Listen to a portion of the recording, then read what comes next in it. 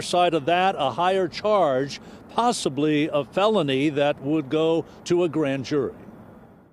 Three days after a criminal charge against Bengals running back Joe Mixon was dropped, there's nothing yet about whether he's in the clear. It all depends on what investigators find out about what did or did not happen here on Walnut Street near the stadium two Saturday afternoons ago.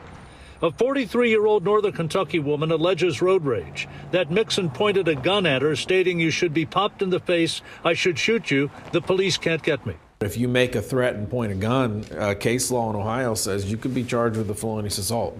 Attorney Jason Fillebaum is not involved in the case, but has both prosecuted and defended clients. He notes it's open carry in Ohio and that a higher charge could hinge on whether Mixon felt endangered. What I think makes this case different is there was a threat being made on top of it, not showing a firearm back off, leave me alone, but showing a firearm say I can shoot you or I can do this, no one can get me.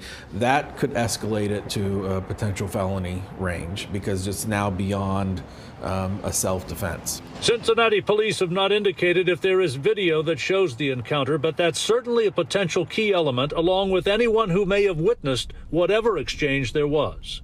I think it's fair for justice to make sure they do the right thing. I am a little shocked, though, that it was charged so quickly and now they're doing the investigation as opposed to doing this to begin with. Given the high profile nature of the case, presenting evidence to a grand jury for its determination is one possibility.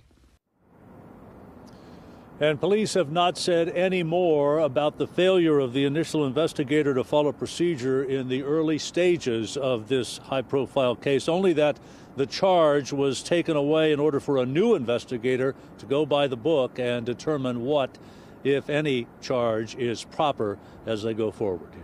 Reporting live, John London, WLWT News 5. All right, John.